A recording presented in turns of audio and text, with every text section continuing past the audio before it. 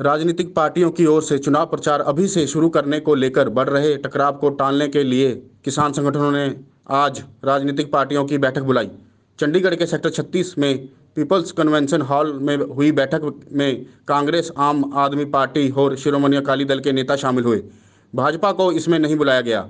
बैठक में पंजाब कांग्रेस के अध्यक्ष नवजोत सिंह सिद्धू, पंजाब कांग्रेस के महासचिव प्रगट सिंह और शहद प्रोफेसर प्रेम सिंह चंदू माजरा और डॉक्टर दलजीत सिंह चीमा सहित कई शामिल हुए ਚਾਰ ਚਾਰ ਕੇਂਦਰੀ ਵਜ਼ੀਰ ਜਿਹੜੇ ਪ੍ਰਭਾਰੀ ਬਣਾਏ ਜਾਣੇ ਔਰ ਸਪੈਸ਼ਲ ਤੌਰ ਤੇ ਗਵਰਨਰ ਪੰਜਾਬ ਦੀ ਜਿਹੜੀ ਨਿਯੁਕਤੀ ਆ ਉਹ ਇਸ ਗੱਲ ਦੇ ਸੰਕੇਤ ਨੇ ਕਿ ਪੰਜਾਬ ਵਿੱਚ ਕਿਸੇ ਵੀ ਸਮੇਂ ਗਵਰਨਰੀ ਰਾਜ ਹੋ ਸਕਦਾ ਉਸ ਚਿੰਤਾ ਦੇ ਵਿੱਚ ਕਿਸਾਨ ਜਥੇਬੰਦੀਆਂ ਵੀ ਸ਼ਾਮਲ ਹੋਈਆਂ ਨੇ ਔਰ ਅਸੀਂ ਉਹਦੇ ਵਿੱਚੋਂ ਕੋਈ ਸਾਂਝਾ ਹੱਲ ਕਿ ਕਿਸੇ ਤਰ੍ਹਾਂ ਜੋ ਮੋਗੇ ਦੇ ਵਿੱਚ ਘਟਨਾ ਵਾਪਰੀ ਉਹ ਮੁੜ ਕੇ ਨਾ ਦੁਹਰਾਈ ਜਾਵੇ, ਉਹਦੇ ਅਸੀਂ ਹੱਲ ਕੱਢਣ ਦੇ ਸੁਝਾਅ ਦਿੱਤੇ ਨੇ ਔਰ ਅਸੀਂ ਕੋਸ਼ਿਸ਼ ਕੀਤੀ ਆ ਕਿ ਜਿਹੜੀਆਂ ਵੀ ਕਿਸਾਨ, ਕੋਈ ਵੀ ਰਾਜਸੀ ਪਾਰਟੀ ਆ, ਉਹ ਰੈਲੀਆਂ ਕਰੇ ਬਿਨਾ, ਲੋਕਾਂ ਵਿੱਚ ਜਾਏ ਬਿਨਾ, ਲੋਕਾਂ ਕੋਲ ਆਪਣੀ ਗੱਲ ਕਹੇ ਬਿਨਾ, ਲੋਕਾਂ ਦੀ ਗੱਲ ਸੁਣੇ ਬਿਨਾ, ਕਦੇ ਸਿਆਸੀ ਪਾਰਟੀਆਂ ਜੀਵਤ ਨਹੀਂ ਰਹਿ ਸਕਦੀਆਂ।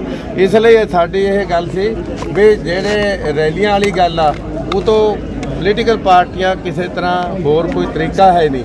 ਤੇ ਜੇ ਕੋਈ ਹੋਰ ਤਰੀਕਾ ਹੈ, ਤੇ ਉਹਦੇ ਲਈ ਜੇ ਕਿਸਾਨ ਸੰਘਰਸ਼ ਨੂੰ ਕਿਸੇ ਤਰ੍ਹਾਂ ਢਾਹ ਲੱਗਦੀ ਆ, ਕਿਸਾਨ ਸੰਘਰਸ਼ ਨੂੰ ਨੁਕਸਾਨ ਹੁੰਦਾ, ਉਹਦੇ ਅਸੀਂ ਸੁਝਾਅ ਦਿੱਤੇ ਨੇ ਕਿ ਅਸੀਂ ਆਪਣਾ ਕੋਟਾ ਕੋਈ ਹੋਵੇ, ਚਾਹੇ 100 ਲਾਓ, ਚਾਹੇ 1000 ਲਾਓ, ਚਾਹੇ 5000 ਲਾਓ, ਸ਼੍ਰੋਮਣੀ ਅਕਾਲੀ ਦਲ ਪੂਰੀ ਤਰ੍ਹਾਂ ਉਹਦੇ 'ਚ ਸ਼ਾਮਲ ਕਰਕੇ ਆਪਣੇ ਵਰਕਰਾਂ ਨੂੰ ਤੋਰੇਗਾ, ਜਾਂ ਦਿਨ ਫਿਕਸ ਕਰ ਦਿਓ ਕਿ ਕਿਸੇ ਤਰ੍ਹਾਂ ਦੇ ਤੁਹਾਨੂੰ ਦਿਨ ਦੱਸ ਦਿਓ ਉਸ ਦਿਨ ਦੇ ਵਿੱਚ ਅਕਾਲੀ ਦਲ ਨੂੰ ਕਰ ਦਿਓ ਅਸੀਂ ਅਕਾ- ਉਹ ਦਿਨ ਤੇ ਪੂਰੀ ਤਰ੍ਹਾਂ ਉਸ ਸੰਘਰਸ਼ ਵਿੱਚ ਹਿੱਸਾ ਪਾਵਾਂਗੇ।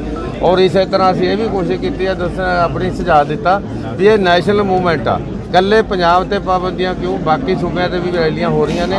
ਉੱਥੇ ਵੀ ਮਤਲਬ ਰੈਲੀਆਂ ਹੋ ਸਕਦੀਆਂ ਨੇ ਤੇ ਪੰਜਾਬ ਵਿੱਚ ਕਿਉਂ ਰੁਕ ਲੱਗਦੀ ਆ? ਤੇ ਇਸ ਲਈ ਇਹਨੂੰ ਨੈਸ਼ਨਲ ਮੂਵਮੈਂਟ ਬਣੀ ਰਹਿੰਦੀ ਹੈ ਤੇ ਇੱਥੇ ਪੰਜਾਬ ਵਿੱਚ ਕੋਈ ਹੋਰ ਤੇ ਬਾਕੀ ਸੂਬਿਆਂ ਵਿੱਚ ਕੋਈ ਹੋਰ ਉਹ ਗੱਲ ਨਾ ਚੱਲੇ।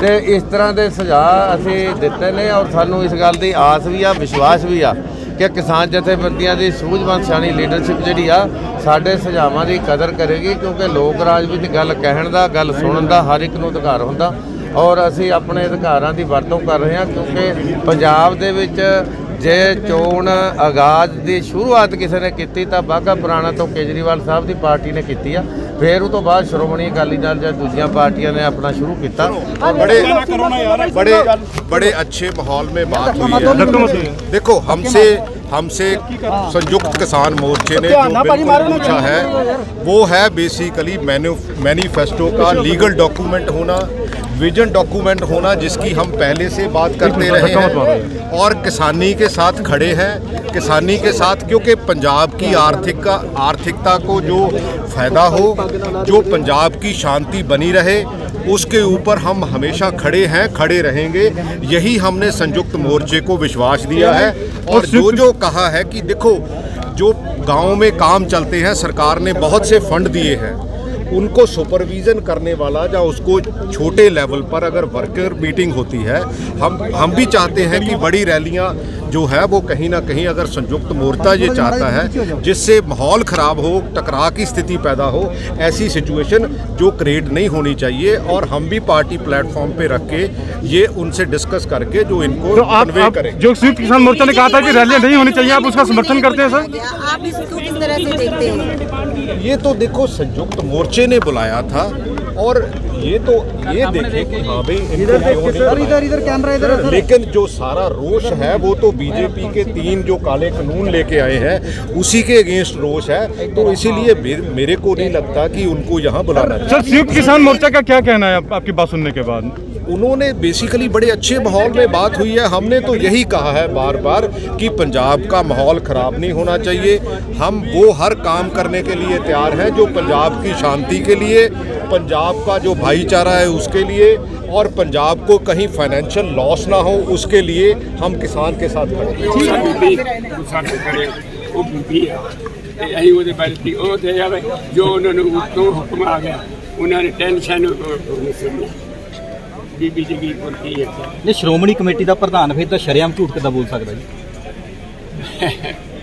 ਕਿ ਤੁਹਾਡੇ ਸਾਹਮਣੇ ਬੋਲਦਾ ਨਹੀਂਗਾ ਸ਼੍ਰੋਮਣੀ ਅਕਾਲੀ ਦਲ ਦਾ ਜੀ। ਤੁਹਾਡੇ ਸਾਹਮਣੇ ਨਹੀਂ ਬੋਲਦਾ। ਤੁਹਾਨੂੰ ਨਹੀਂ ਪਤਾ ਬੋਲਦਾ ਵਾ। ਜੀ ਜੀ। ਮੈਂ ਹੁਣ ਕਿਤੇ ਦੱਸਾਂ ਕੀ ਕੀ ਕਰਦਾ ਵਾ। ਜੀ। ਬ੍ਰਹਮਣ ਸਾਹਿਬ ਕਦੇ ਹੋ ਸਕਦਾ ਵੀ ਸਾਰੀ ਸਿਆਸੀ ਪਾਰਟੀਆਂ ਜਿਹੜੀਆਂ ਨੇ ਇੱਕ ਪਲੇਟਫਾਰਮ ਤੇ ਇਕੱਠੀਆਂ ਹੋਣਗੇ ਸਾਰੀਆਂ ਕਦੀ ਨਹੀਂ ਆ ਦੁਨੀਆ 'ਚ ਕਿ ਸਾਰੀਆਂ ਪਾਰਟੀਆਂ ਨੇ ਇਕੱਠੀਆਂ। ਕਿਸਾਨ ਅੰਦੋਲਨ ਕਿਹੜਾ ਰੁਕ ਪਏਗਾ ਕਿਸਾਨ ਤਾਂ ਅੰਦੋਲਨ ਦਾ। ਕੀ ਸਿੱਟੇ ਨਿਕਲਣ? ਹਾਂਜੀ। ਕਿਸਾਨ ਅੰਦੋਲਨ ਨੂੰ ਕਿਵੇਂ ਦੇਖਦੇ ਹੋ? ਕਿਸਾਨ ਅੰਦੋਲਨ ਕਾਮਯਾਬ ਹੋਏਗਾ ਪਰ ਇਹ ਦਿਨੋਂ ਦਿਨ ਵਧੇਗਾ।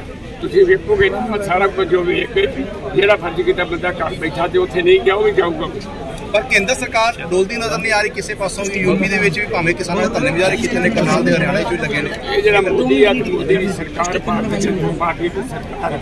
ਇਹ ਕਿਸਾਨ ਵਿਰੋਧੀ ਹੈ ਪੰਜਾਬ ਵਿਰੋਧੀ ਆ ਤੇ ਖਾਰ ਕਰਕੇ ਸਿੱਖ ਵਿਰੋਧੀ ਆ ਬ੍ਰਹਮਪੁਰਾ ਸਾਹਿਬ ਬੀਜੇਪੀ ਕੰਫੀਡੈਂਸ ਕਿਉਂ ਆਇਆ ਇੰਨਾ ਲੰਮਾ ਅੰਦੋਲਨ ਚੱਲਦਾ ਹੋਵੇ ਪਰ ਪਾਠਸ਼ਾਲੇ ਨੇ ਆਪਣੇ ਸਟੈਂਡ ਤੇ ਕਾਇਮ ਇਹੋ ਜਿਹੇ ਇਹ ਕਿਤੇ ਹੋਰ ਸ਼ੁਰੂ ਹੋਇਆ ਹੁੰਦਾ। ਤੇ ਸ਼ਾਇਦ ਉਹਨੂੰ ਮਸਲਾ ਆ ਜਾਏਗਾ ਹਾਂਜੀ ਚਾਹੇ ਕਰਾਂ। ਭਾਜੀ ਖੜਾ ਸਮਰਾ ਮਾਈਕ। ਜਿਹੜੀ ਗੱਲ ਕਰਦੇ ਨੇ ਇਹ ਨਹੀਂ ਮੰਨਣੀ ਇਹਨਾਂ ਨੂੰ ਜਿਹੜਾ ਵਾ ਪੁੱਠਾ ਪਾਉਣਾ ਜੀ। ਬ੍ਰਹਮਪੁਰਾ ਸਾਹਿਬ ਬੀਜੇਪੀ 117 ਸੀਟਾਂ ਤੇ ਲੜ ਕੇ ਜਿੱਤ ਜੂਗੀ ਉਹਨਾਂ ਦਾ ਬਿਆਨ ਆ ਰਿਹਾ ਜੀ। ਬੀਜੇਪੀ ਦਾ ਪੰਜਾਬ ਵਿੱਚ। ਉਹ ਜੇ ਉਹਨਾਂ ਦੀ ਤੇ ਇੱਕ ਚੀਜ਼ ਨਹੀਂ ਹੋਣੀ ਤੇ ਮੈਂ ਹੁਣ ਇੱਕ ਦਾ ਕੀ ਦੱਸਾਂ ਤੁਹਾਨੂੰ। ਮੈਨੂੰ ਤੇ ਇਹ ਨਹੀਂ ਪਤਾ ਕਿਸੇ ਦੀਆਂ ਕਿੰਨੀਆਂ ਆਉਣੀਆਂ ਕਿਸੇ ਦੀਆਂ ਨਹੀਂ। ਇਹ ਤੇ ਲੋਕਾਂ ਦੇ ਹੱਥ ਵਿੱਚ ਗੱਲ ਆ ਇਹ ਲੋਕਾਂ ਨੇ ਫੈਸਲਾ ਕਰਨਾ ਬਟਾਲਾ ਨੂੰ ਜ਼ਿਲ੍ਹਾ ਬਣਾਉਣ ਲਈ ਕਾਂਗਰਸ ਦੇ ਮਾਝੇ ਦੇ ਲੀਡਰ ਲੜ ਰਹੇ ਆ ਵੋਟਾਂ ਦੇ ਲਾਗੇ ਆ ਗਏ ਜੀ। ਜਿਸ ਤਰ੍ਹਾਂ ਕੋਈ ਬੰਦਾ ਹੁੰਦਾ ਨੇ ਗੁੰਮਰਾਹ। ਕਰਦਾ ਅੱਗੇ ਵੀ ਗੁੰਮਰਾਹ ਕਰਕੇ ਸਰਕਾਰਾਂ ਬਣੀਆਂ ਦੋ ਤਿੰਨ ਵਾਰ। ਤੇ ਹੁਣ ਫਿਰ ਜੇ ਲੋਕਾਂ ਨੇ ਮੂਰਖ ਬਣਨਾ 70 ਸਾਲ 77 ਸਾਲ ਦੀ ਆਜ਼ਾਦੀ ਤੋਂ ਤੇ ਬਣ ਜਾਣ ਫਿਰ ਕੀ ਕਰ ਸਕਦੇ ਲੋਕਾਂ ਨੂੰ ਚਾਹੀਦਾ। ਰੌਲਾ ਪੈਂਦਾ ਜਾਣ ਕੇ ਪਾਉਂਦੇ ਨਹੀਂ ਉਹ ਤਾਂ ਬੀਜੇਪੀ ਦੇ ਖਿਲਾਫ ਬੋਲ ਰਹੇ ਨੇ। ਉਹ ਉੱਤੋਂ ਉੱਤੋਂ ਬੋਲਦੇ ਨੇ ਨੂਰਾ ਕੁਸ਼ਤੀ ਆ ਤੇ ਸਾਰਾ ਤਾਂ ਇੱਕੋ ਸਾਰੀ ਬੀਜੇਪੀ ਦੇ ਨਾਲ ਆ ਗਈ। ਇਹਨਾਂ ਦੀ ਪਾਰਟੀ ਚ ਆ ਗਈ। ਬੀਜੇਪੀ ਦੇ ਜਿਹੜੇ ਕੋਰ ਆਈਡੀਓਲੋਗ ਨੇ ਉਹ ਤਾਂ ਇਹਨਾਂ ਦੇ ਨਾਲ ਆ ਗਏ ਆ। ਸੋ ਇਹ ਸਾਰਾ ਇਹਨਾਂ ਦੀ ਅਹ, ਮਤਲਬ ਨੂਰਾ ਕੁਸ਼ਤੀ ਹੈ।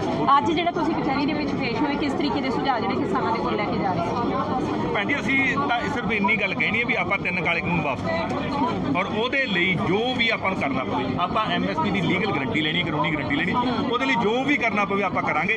ਸ਼ੁਰੂ ਤੋਂ ਆਮ ਆਦਮੀ ਪਾਰਟੀ ਅਰਵਿੰਦ ਕੇਜਰੀਵਾਲ ਜੀ ਵੀ ਸਾ- ਸਾਡੀ ਸਾਰੀ ਆਮ ਆਦਮੀ ਪਾਰਟੀ ਇਸੇ ਹੀ ਸੋਚ ਨਾਲ ਇਸ ਸੰਘਰਸ਼ ਦੇ ਵਿੱਚ ਹਿੱਸਾ ਪਾ ਰਹੀ ਹੈ। ਪਰ ਜਿਸ ਤਰੀਕੇ ਨਾਲ ਕਿਸਾਨਾਂ ਦਾ ਅ, ਕਿਸਾਨ ਜਿਹੜਾ ਵਿਰੋਧ ਕਰ ਰਹੇ ਨੇ ਸਾਰੀਆਂ ਹੀ ਸਿਆਸੀ ਪਾਰਟੀਆਂ ਦੇ ਉਹਦੇ ਨਾਲ ਤੁਹਾਨੂੰ ਲੱਗਦਾ ਹੈ ਕਿ ਕਿਸਾਨ ਸਹੀ ਨੇ ਕਿ ਜਿਸ ਤਰੀਕੇ ਨਾਲ ਉਹ ਸਾਰੀਆਂ ਪਾਰਟੀਆਂ ਦੇ ਜੇਕਰ ਇਦਾਂ ਵਿਰੋਧ ਕਰਨਗੇ ਤਾਂ ਜਿਹੜਾ ਹੈਗਾ ਕਿਸਾਨ ਸੰਘਰਸ਼ ਹੈ ਕਿਸਾਨ ਅੰਦੋਲਨ ਹੈ ਕਿਸ ਪਾਸੇ ਵੱਲ ਨੂੰ ਜਾ ਰਿਹਾ? ਇਹ ਦੇਖੋ ਜੀ ਕੋਈ ਵੀ ਜਿਹੜੇ ਚਾਉਜ਼ ਹੈ ਰੌਲਾ ਲੌਲੈਸਨੈਸ ਹੈ ਇਹਦਾ ਅਵਾਇਡ ਕਰਨੀ ਚਾਹੀਦੀ ਹੈ ਠੀਕ ਹੈ ਜੀ? ਕੋਈ ਬੰਦਾ ਦਿੱਲੀ ਕਾਨੂੰਨ ਬਣਾਇਆ ਹੋਵੇ ਪਾਰਲੀਮੈਂਟ ਦੇ ਵਿੱਚ ਕਾਨੂੰਨ ਪਾਸ ਕਰਾਇਆ ਹੈ ਆਰਡੀਨੈਂਸ ਇੱਥੇ ਆ ਕੇ ਕਹੀਏ ਵੀ ਨਹੀਂ ਨਹੀਂ ਬਈ ਜੀ ਇਹ ਤਾਂ ਗਲਤ ਹੋ ਗਿਆ ਗਲਤ ਹੋ ਗਿਆ ਉਹਨੂੰ ਤਾਂ ਪੁੱਛਣਗੇ ਹੀ ਨਾ। ਉਹਨੂੰ ਤਾਂ ਸਵਾਲ ਪੁੱਛਣੇ ਚਾਹੀਦੇ ਆ। ਜੀ। ਕਿਸ ਤਰ੍ਹਾਂ ਦੇ ਜਿਵੇਂ ਆਪਾਂ ਗੱਲ ਕਰੀਏ ਆਮ ਕਿਸਾਨ ਜਥੇਬੰਦੀਆਂ ਵੱਲੋਂ ਅੱਜ ਆਮ ਆਦਮੀ ਪਾਰਟੀ ਨੂੰ ਬੁਲਾਇਆ ਗਿਆ, ਗੱਲਬਾਤ ਦਾ ਸੱਦਾ ਦਿੱਤਾ ਗਿਆ, ਚੋਣ ਲੈ ਕੇ। ਕਿੱਦਾਂ ਤੁਸੀਂ ਮਤਲਬ ਅੱਜ ਕੀ ਇਹਦਾ ਦਿਸ਼ਾ ਨਿਰਦੇਸ਼ ਮੰਨੋਗੇ ਜਾਂ ਕੀ ਹੋਊਗਾ ਆਪਣਾ ਅਗਲਾ ਐਕਸ਼ਨ ਤੁਹਾਡਾ? ਜਬ ਲਗ ਦੁਨੀਆ ਰਹੀ ਹੈ ਨਾਨਕ ਕਿਛ ਸੁਣੀਏ, ਕਿਛ ਕਹੀਏ। ਜਦੋਂ ਵੀ ਕੁਝ ਕਰਨਾ ਤੁਸੀਂ, ਗੱਲਬਾਤ ਕਰਨੀ ਚਾਹੀਦੀ ਆ ਔਰ ਕਿਉਂਕਿ ਮੁੱਦਾ ਬਹੁਤ ਵੱਡਾ ਹੈ। ਇਹ ਦੇਸ਼ ਨੂੰ ਬਚਾਉਣ ਵਾਲ- ਵਾਸਤੇ ਤਿੰਨ ਕਾਲੇ ਕਾਨੂੰਨ ਵਾਪਸ ਕਰਾਉਣੇ ਆ।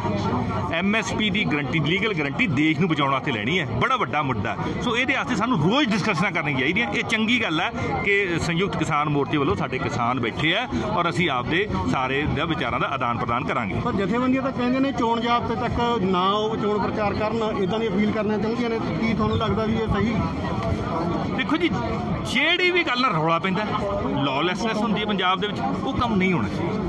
ਅਸੀਂ ਇਸ ਅਹ, ਸੋਚ ਨਾਲ ਆ। ਹਾਂ ਜਿਹੜੀ ਗੱਲ ਨਾਲ ਕਾਂਗਰਸ ਨੂੰ ਫਾਇਦਾ ਹੁੰਦਾ ਹੈ, ਜਿਹੜੇ ਕੰਮ ਨਾਲ ਬੀਜੇਪੀ ਨੂੰ ਫਾਇਦਾ ਹੁੰਦਾ ਹੈ, ਜਿਨ੍ਹਾਂ ਦਾ ਕਿ ਏਜੰਡਾ ਹੀ ਅਬਾਨੀਆਂ ਡਾਨੀਆਂ ਨੂੰ ਇੱਥੇ ਪ੍ਰਮੋਟ ਕਰਨਾ ਹੈ ਕਾਰਪੋਰੇਟਾਂ ਨੂੰ ਪ੍ਰਮੋਟ ਕਰਨਾ ਹੈ ਜਿਨ੍ਹਾਂ ਨੂੰ ਇਹ ਆਪ ਜਾ ਕੇ ਲੈ ਕੇ ਆਉਂਦੇ ਉੱਥੋਂ ਜੇ ਉਹਨਾਂ ਨੂੰ ਫਾਇਦਾ ਹੁੰਦਾ ਤਾਂ ਆਪਾਂ ਨੂੰ ਕੁਝ ਸੋਚ ਵਿਚਾਰ ਕਰ ਲੈਣਾ ਚਾਹੀਦਾ जी इस मीटिंग से क्या उम्मीद रख के जा रहे हैं आप लोग कि क्या उम्मीद क्या हल निकल सकता है सभी लोग साफ मन से बैठे हैं यहाँ पर हम भी साफ मन से आए हैं तो अच्छा रिजल्ट निकलेगा और पंजाब बचेगा तीन काले कानून हम वापस करवा के रहेंगे ਸੰਧਵਾ ਸਾਹਿਬ ਹੁਣ ਤੱਕ ਤਾਂ ਸਿਆਸਤਦਾਨ ਅ, ਕਿਸਾਨਾਂ ਨੂੰ ਸੱਦੇ ਸੀ ਮੀਟਿੰਗ ਵਾਸਤੇ ਪਹਿਲੀ ਵਾਰ ਹੋਇਆ ਕਿ ਕਿਸਾਨਾਂ ਨੇ ਸੱਦਿਆ ਕਿ ਸਿਆਸਤਦਾਨਾਂ ਨੂੰ ਵੀ ਭਾਓ ਇੱਥੇ ਇੱਥੇ ਆਓ ਤੇ ਲੇਖਾ ਜੋਖਾ ਕਰੀਏ ਆਪਾਂ ਇਹ ਤੇ ਚੰਗੀ ਗੱਲ ਆ ਨਾ ਪਹਿਲਾਂ ਭੁੱਲ ਜਾਂਦੇ ਸੀ ਭਾਵੇਂ ਉਹ ਅ, ਸਾਰੀ ਰੋਡਵੇਜ ਖਾ ਕੇ ਆਪਦੀ ਕੱਲੀ ਆਰਬਿਟ ਬਣਾ ਲਈ ਕੱਲਾ ਇੱਥੇ ਉਹ ਹੋਟਲ ਬਣਾ ਲਿਆ ਕਹਿੰਦੇ ਸੀ ਯਾਰ ਲੀਡਰਾਂ ਦਾ ਹੱਕ ਹੁੰਦਾ ਹੀ ਹੁੰਦਾ ਪਹਿਲਾਂ ਆਹ ਸੀ ਨਾ ਗੱਲ ਜਦੋਂ ਦੀ ਆਮ ਆਦਮੀ ਪਾਰਟੀ ਆਈ ਹੈ ताज़ा अपडेट्स व बड़ी खबरों के लिए सब्सक्राइब करें आज प्रकाश टीवी और बेल आइकन दबाना न भूलें